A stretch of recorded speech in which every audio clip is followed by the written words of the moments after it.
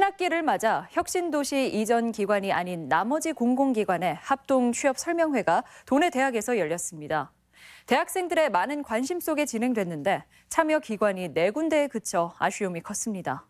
유룡 기자의 보도입니다.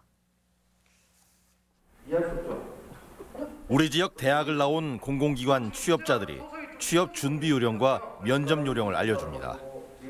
강당을 가득 메운 학생들이 귀 기울여 취업의 비법을 머릿속에 담아둡니다. 저 같은 경우는 약 40가지의 주제를 만들어서 서로 준비를 했었어요.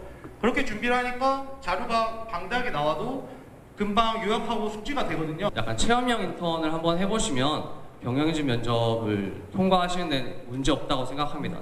전북대에서 열린 공공기관 합동 취업 설명회. 한국도로공사와 수자원공사, 산업인력공단, 도로교통공단 관계자와 선배 취업자들이 마련한 자리입니다.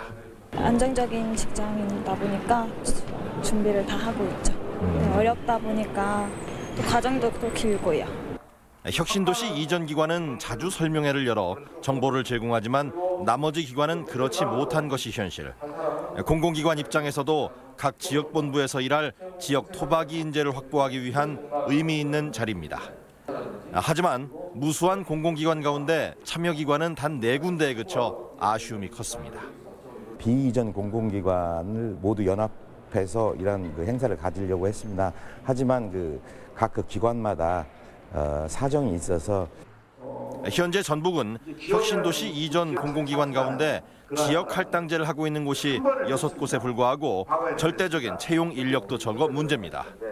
이 때문에 전북과 광주 전남을 묶는 광역 할당제까지 논의되고 있는 처지지만 전북 지역 인재 채용에 대한 공공기관의 관심은 여전히 부족해 보입니다.